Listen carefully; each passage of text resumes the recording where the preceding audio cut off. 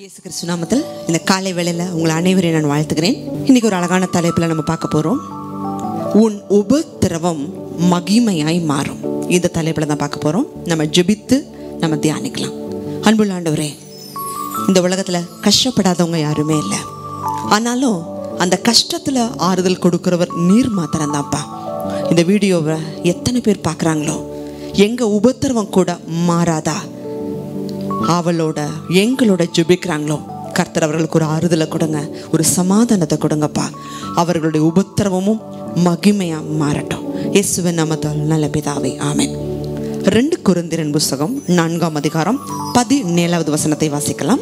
மேலும் காணப்படுகிறவைகளை அல்ல காணப்படாதவைகளை நோக்கி இருக்கிற நமக்கு அதி சீக்கிரத்தில் நீங்கும். லேசான நம்முடைய உபத்திரவம் மிகவும் அதிகமான நித்திய கனமகிமையை உண்டாக்குகிறது. இந்த உபத்திரவம் எல்லாமே நமக்கு மகிமையை உண்டாக்கும். நீங்க நினைக்கலாம் எப்படிங்க உபத்திரவம் மகிமையா மாறும்? இந்த உலகம் இருக்கிற வரைக்கும் உபத்திரவம் நிச்சயமா இருக்கும். அதுல எந்த மாற்றமே இல்லை. ஆனா ஏன் இந்த உபத்திரவங்கள் வருது அப்படின்னு சொன்னா இந்த உலகம் இருக்கிற வரைக்கும் உபத்திரவங்கள் உண்டு. ஆனாலும் இந்த உபத்திரவங்களை இந்த உலகத்தை ஜெயித்த ஆண்டவர் நம்மளோடு கூட இருக்கிறார்.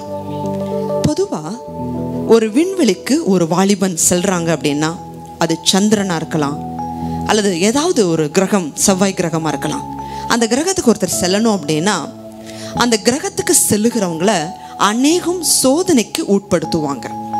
குளிர அவங்களால தாங்க முடியுதா? வெயில தாங்க முடியுதா? எல்லா சூழ்நிலையும் அவங்க தாங்கும் பொழுது அவங்களுடைய மனநிலை எப்படி இருக்கு?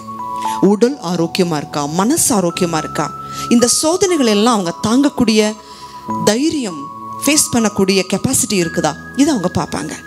அப்படி இருக்கும் பொழுது பரலோகத்துக்கு நேராக நம்ம வழிநடத்த தேவனால் வழிநடத்தப்படுறோம் அப்படி படும் பொழுது எல்லாருனாலையும் பரலோகம் போயிட முடியுமா? இந்த உலகத்தை யார் ஜெயிக்கிறாங்களோ அவங்கனால தான் பரலோகம் போக முடியும். பொதுவாக ஒரு தங்கத்தை நம்ம எடுத்துக்கலாமே. அந்த தங்கம் எதனால் இன்னைக்கு ஜொலிக்குது அப்படின்னு சொன்னால் அந்த தங்கத்தை அழுக்கு இருக்கும் தூசி இருக்கும் குப்பை இருக்கும் அந்த தங்கத்தை தண்ணினால் கழுவலாம். அல்லது ஆற்றுல போய் கழுவலாம் பன்னீர்னால கூட கழுவலாம். ஆனால் அப்படி செய்கிறதில்ல தங்கத்தை நெருப்பில் தாங்க போடுறாங்க. அப்படி நெருப்பில் போடும்போது தான் அதில் இருக்கிற தூசி அழுக்கு குப்பை எல்லாமே அந்த நெருப்பில் சுட்டரிக்கப்பட்டுரும். எது வரைக்கும் இந்த தங்கம் சோதிக்கப்படும் அப்படின்னா அந்த தங்கத்தை செய்கிற பொற்கொள்ளன் அந்த பொற்கொள்ளனுடைய முகம் தங்கத்தில் கண்ணாடி மாதிரி தெரிகிற வரைக்கும் அந்த தங்கத்தை அக்கிடியினால புடமிடுவாங்க. அதே போலதான் தேவ பிள்ளைகளுடைய வாழ்க்கையில் வருகிற உபத்திரவம் தேவனுடைய சாயல் உங்ககிட்ட தெரியற வரைக்கும் தேவன் உபத்திரவத்தின் பாதையில அனுமதிப்பார். தேவன் ஒருவருக்கும் உபத்திரவத்தை கொடுக்கறதில்ல. ஆனா இந்த உபத்திரவங்கள் எல்லாமே நமக்கு நிச்சயமா மகிமையாக தேவன் மாத்துவார். யோசிப்போட வாழ்க்கையை நம்ம எடுத்துக்கலாமே.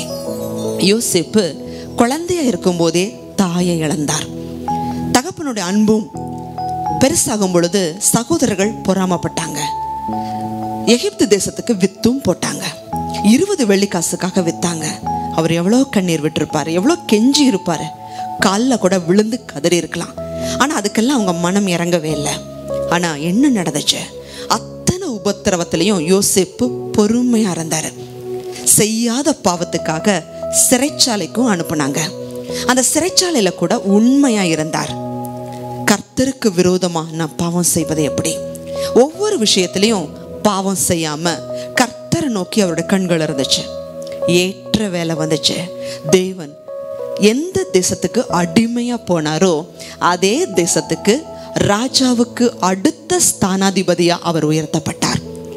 அந்த உபத்திரவம் மட்டும் அவரோட வாழ்க்கையில வரலன்னு சொன்னா அவ்வளவு பெரிய உயர்வு அவர் நிச்சயம் வந்திருக்காது தேவஜனமே இன்னைக்கு உங்களோட வாழ்க்கையில நிச்சயமா உபத்திரவத்தை யாருனாலே தாங்க முடியாது. கண்ணீர்ல இருக்கிறீங்களா? பாடுகளில் வேதனையில இருக்கிறீங்களா? ஆண்டவரை நோக்கி பாருங்க. கர்த்தருடைய கண்கள் உங்களை நோக்கி பார்க்குத. பாவம் செய்யாதீங்க. உங்களுடைய நடத்தை ஆண்டவருக்கு முன்பாக நீதியா இருக்கட்டும் பரிசுத்தமா இருக்கட்டும். அதை பார்க்கிற தேவன் உங்களுடைய உண்மையை நீதியை பரிசுத்தத்தை பொறுமையை பார்க்கிற தேவன் நிச்சயமா கண்டிப்பா உயர்த்தவே உயர்த்துவார். சோர்ந்து போகாதீங்க. உங்களுடைய உபத்திரவம் மகிமையா மாறும். கண்களை முடிச்சு வைக்கலாம் அன்புள்ள ஆண்டவரே இந்த செய்தியை யாரெல்லாம் கேட்டு கர்த்தர் மேல விசுவாசம் வைக்கிறாங்களோ அவங்களுடைய உபத்திரவம் மகிமையாக மாறட்டுங்கப்பா. தாங்கக்கூடிய பலனை கொடுங்க. உபத்திரவம் பாடு சோர்வு வரும்போது யார் தாங்க முடியும்ப்பா ஆனாலும் நீங்கள் சொன்னீங்க நீ ஆறுகளில் நடந்தாலும் அவைகள் உண்மையில் பொருளுவதில்லை. அக்கினியில் நடந்தாலும் நீ வேகாதிருப்பாய். அக்கினி ஜுவாலை உன்னை பற்றாதுன்னு சொல்லி வாக்குத்தத்தம் கொடுத்தவர் நேர். தகப்பனே ஆறுகளை போல அக்கினியை போல பாடுகள் வரலாம். தேவன் தாமே தப்பிக்கொள்ள தாங்கிக் கொள்ள தேவன் உதவி செய்யுங்க. அந்த உபத்திரவங்கள் மகிமையாய் மாறட்டும். இயேசுவ நாமத்தில் நல்ல பிதாவே ஆமேன்.